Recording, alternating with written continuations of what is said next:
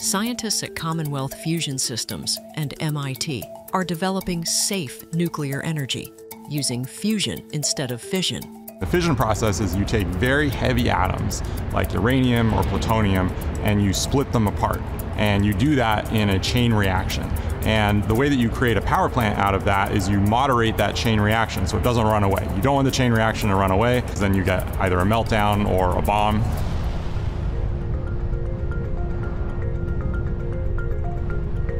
Nuclear fusion, in theory, is much safer. Fusion is a form of energy that not it's it's not a very commonly known about energy, which is interesting because it's actually what powers the sun and the stars. Fission takes the heaviest elements on the periodic table, whereas fusion takes the lightest elements on the periodic table and actually joins them together. And in that joining together of those elements, you actually release energy the team at Commonwealth is building a fusion device that will generate more energy than it consumes.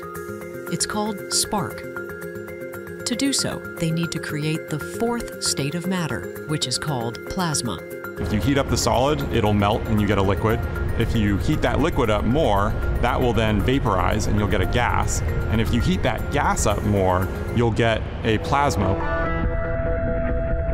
For fusion, you're actually existing in a plasma state, so the electrons aren't even connected to the nucleus of the atom.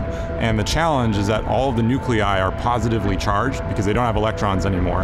And you know, likes repel each other. And so pushing them close enough together for the, the strong force to take over, um, which is the thing that ultimately causes fusion, um, is really, really hard. Historically, it requires far more energy to force these particles together than the reaction it produces generates. So particles moving around, the faster they move around, uh, the higher temperature you have. And for fusion, you need temperatures of generally in the millions of degrees. Efficiently creating and containing plasma requires thinking way outside the box and building a virtual box. The plasma is a very delicate thing, it turns out, uh, which is very counterintuitive because you think something that's millions of degrees would be very dangerous, but that's actually very far from the truth. This thing that's millions of degrees will actually kill itself if it touches a solid, a liquid, or a gas.